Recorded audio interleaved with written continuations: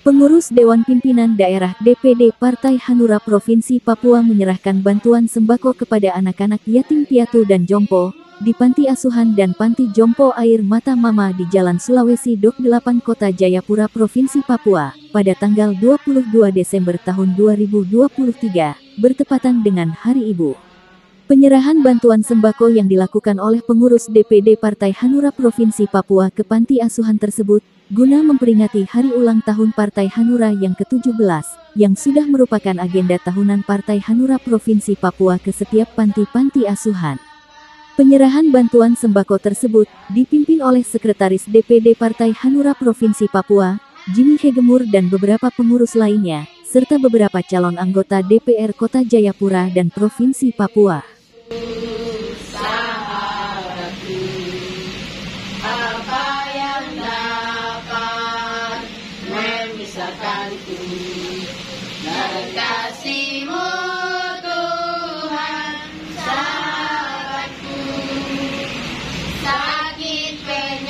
Selain itu, para mama-mama di panti asuhan tersebut juga meminta tujuh perwakilan dari pengurus Partai Hanura Provinsi Papua untuk menyalakan tujuh buah lilin, sebagai simbol penghormatan terhadap Partai Hanura, karena menjadi salah satu partai yang pertama memberikan bantuan kepada mereka menjelang perayaan Hari Raya Natal dan Tahun Baru 2024.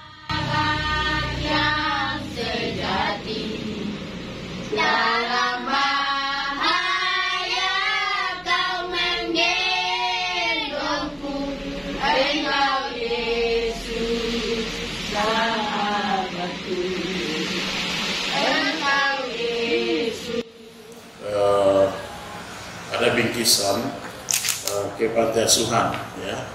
Panti asuhan dan juga panti jumbo ya di beberapa uh, tempat. Dan itu besok juga akan kita kunjungi. Setelah itu ada kegiatan lain yang digelar yang rutin. Itu adalah lomba hias. Lomba hias menurut kali ini sudah rutin pada setiap tahunnya dilakukan oleh Partai Hanura Tujuannya adalah bagaimana kita memeriahkan hari Natal, kelahiran Sang Juru Selamat Yesus Kristus. Ya, dengan begitu kita mengingatkan kepada seluruh umat Tuhan yang ada di Kota Jayapura, Kabupaten, bahkan juga di daerah Kerong ini. Negeri ini adalah negeri yang Tuhan jadikan kita ada di sini untuk memuliakan Tuhan. Kami dari Pandesuan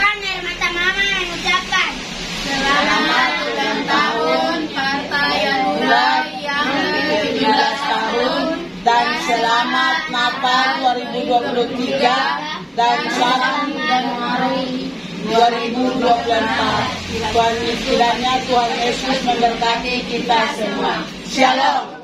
Dari Kota Jayapura Tim Media DPD Partai Hanura Provinsi Papua mengabarkan.